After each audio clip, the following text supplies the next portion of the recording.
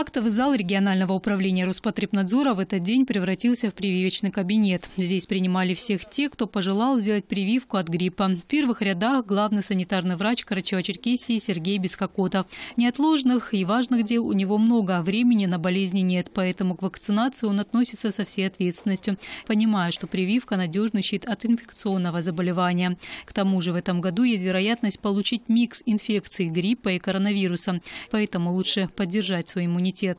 Мы не знаем, как будет протекать инфекция в организме человека, который одновременно может э, получить и вирус гриппа, и вирус коронавируса. Это так называемая микс-инфекция. Тем более, что вот э, в нынешней ситуации у нас сейчас в республике наблюдается небольшой рост заболеваемости коронавирусной инфекцией, и мы не знаем, что будет у нас и этой осенью, и этой зимой. Поэтому я бы настоятельно рекомендовал населению нашей республики, особенно группы риска, которые Э, контактирует с большим количеством людей, э, в первую очередь прививиться против гриппа, чтобы защитить, защитить и себя от заражения, и защитить тех людей, с кем они ежедневно соприкасаются.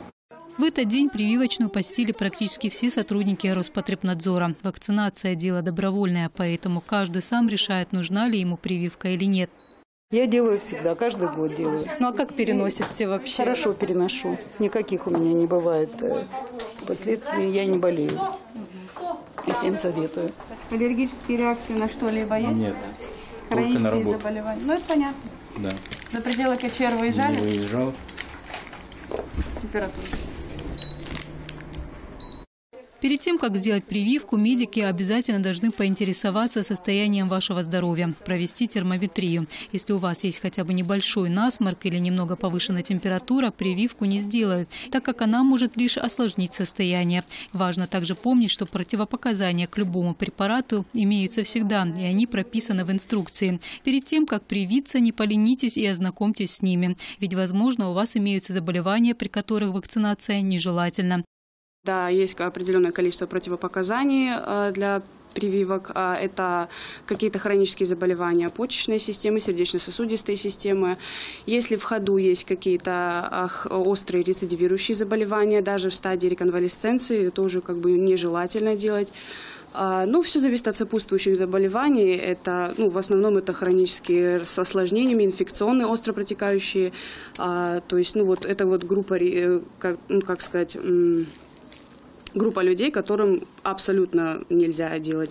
Есть э, относительные противопоказания, то есть тем, кому можно сделать, но попозже. То есть это, допустим, если какое-то инфекционное заболевание в ходу, оно наступило стадии ремиссии, ну, то есть наступила стадия ремиссии этого инфекционного заболевания, и, соответственно, после этого уже можно ну, прийти, пожалуйста, привиться после того, как уже состояние улучшится. Впрочем, в последнее время в нашей республике среди обывателей начали ходить слухи о том, что используемые препараты из прошлогодней партии, поступившей в республику. Представители Роспотребнадзора опровергают эту информацию. Используемые вакцины не имеют такого длительного срока хранения.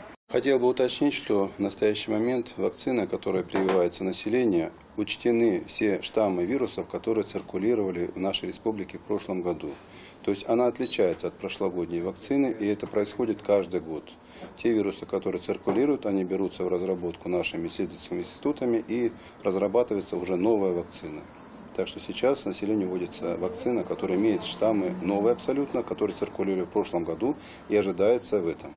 Прививку от гриппа лучше делать в начале осени, чтобы к сезонной эпидемии успел сформироваться иммунитет. Вакцина будет защищать вас 7-9 месяцев. Ее эффективность составляет 75-90%. Если вы и заболеете гриппом, то риск последующих осложнений будет минимальным. Фатима Куршева, Андрей Дорошенко. Итоги недели.